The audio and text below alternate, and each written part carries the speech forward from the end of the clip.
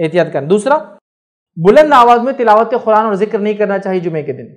नबी अकरम सल्लल्लाहु अलैहि वसल्लम मुस्नद अहमद की रिवायत देखा, सहाबा किरत कर रहे थे और आवाज़ें थोड़ी बुलंद हो रही थी। तो आप सल्लल्लाहु अलैहि वसल्लम कहा एक दूसरे के सामने बुलंद आवाज़ में तिलावत ना करो। क्योंकि जुमा है, अब सब एक दूसरे के सामने बुलंद आवाज़ में करेंगे तो बहुत ज़्यादा शोर हो जाएगा मस्जिद में और जुमे के खिलाफ है कि उसमें शोर किया जाए। समझा?